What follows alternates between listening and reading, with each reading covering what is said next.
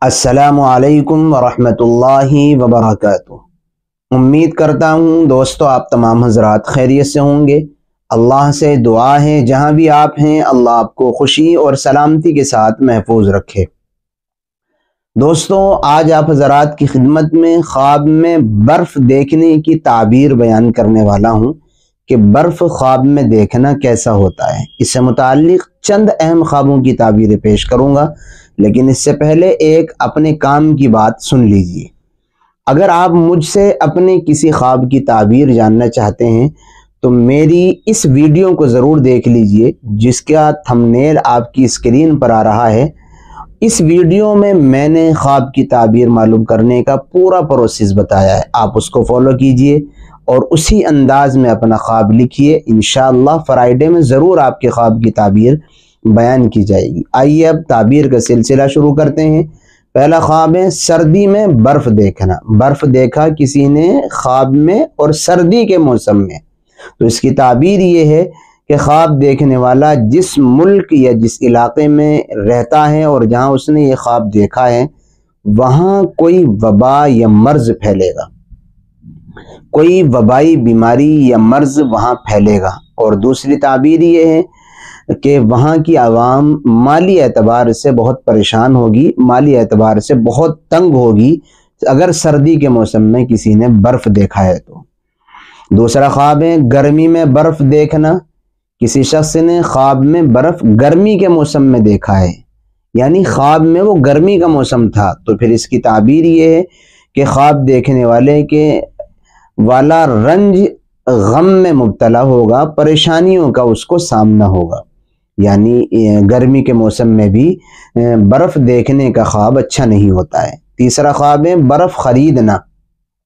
کسی شخص نے خواب میں دیکھا کہ وہ کسی سے برف خرید رہا ہے، تو اس کی تعبیر یہ ہے کہ خواب دیکھنے والا کاروبار اور بزنس میں نقصان اٹھائے گا۔ یا اسی طریقے پر کسی سے قرض لے گا اور یہ مقروض ہوگا۔ یہ بھی اچھا خواب نہیں، کون چاہے گا قرض لینا؟ یاد رکھیں، جب خواب اچھا نہ ہو جو آپ نے دیکھا ہے، جس کی تعبیر اچھی نہ ہو، تو اس کو دیکھنے کے بعد انسان کو تین کام کرنے چاہیے۔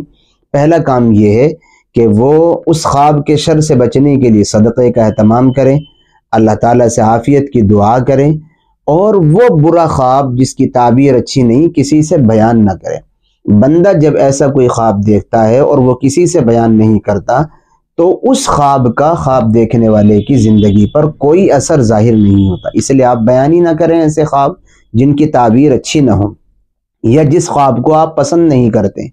چوتھا خواب ہے برف کھانا۔ کسی شخص نے خواب میں دیکھا کہ وہ برف کھا رہا ہے تو اس کی تعبیر یہ ہے کہ خواب دیکھنے والا کسی بیماری یا پریشانی میں مبتلا ہوگا۔ اس کو کوئی آفت اور پریشانی کا سامنا ہوگا۔ یہ بھی اچھا خواب نہیں ہے۔ پانچواں خواب میں برف بیچنا۔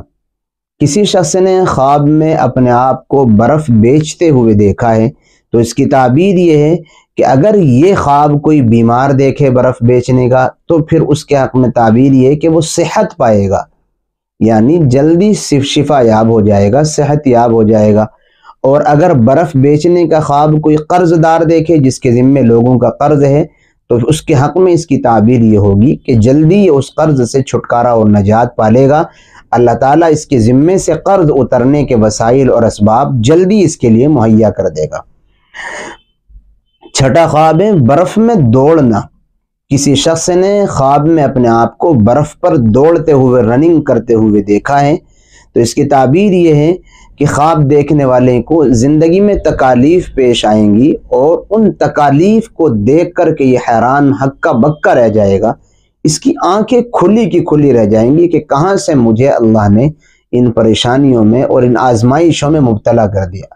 اور ان پریشانیوں سے پھر یہ عبرت حاصل کر کے اپنی زندگی کی خامیوں اور لغزشوں کو ٹھیک کرنے کی کوشش کرے گا۔ دوستو، یہ ہم نے آپ حضرات کی خدمت میں خواب میں برف دیکھنے سے متعلق چند اہم خوابوں کی تعبیریں پیش کی ہیں۔ امید کرتے ہیں ویڈیو آپ کو پسند آئی ہوگی۔ اپنے خواب کی تعبیر جاننے کے لیے وہی پروسیس فالو کریں جو ہم نے تھمنیل آپ کو دکھائی ہے۔ انشاءاللہ ضرور آپ کے خواب کی تعبیر تسلی بخش بتائی جائے گی۔ دعاؤں کی درخواست ہے۔ السلام علیکم ورحمۃ اللہ وبرکاتہ۔